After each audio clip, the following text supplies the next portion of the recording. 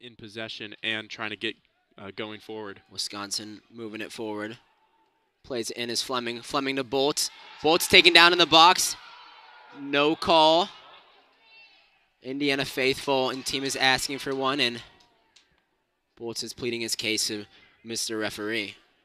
Well, hard to tell from here. Looked like the ball definitely got away from Bolts, so maybe a shout that while Bolts did get taken down, that the uh,